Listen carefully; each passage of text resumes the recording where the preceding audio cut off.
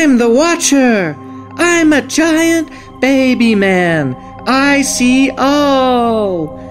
When important events occur, I'm always there to observe. One such important event is occurring right now.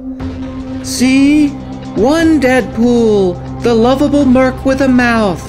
He has been killing superpowered individuals unwillingly for a demon named Vetis, which Vetis arranged years ago in order to take control of hell.